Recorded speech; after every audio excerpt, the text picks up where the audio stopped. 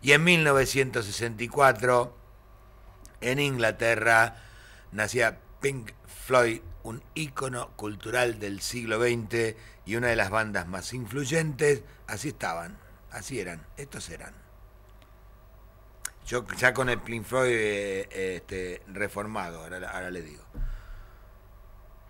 Póngale música psicodélica, póngale rock progresivo, si quiere póngale música experimental. Igual no se puede abarcar a este grupo en una sola definición, tómelo, déjelo, si le gusta bien y si no, no creo que se eh, perturben los miembros de Pink Floyd.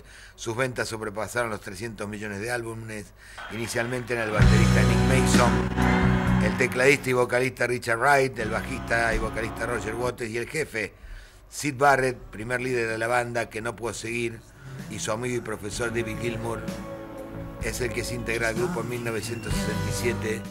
Un año después ya eran un supergrupo.